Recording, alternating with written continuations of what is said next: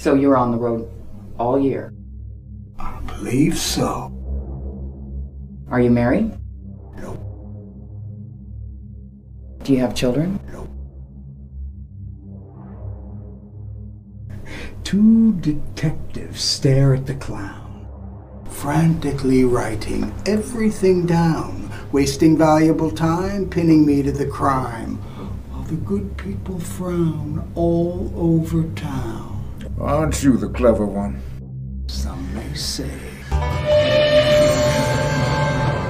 Did you see that clown? Where? Over there.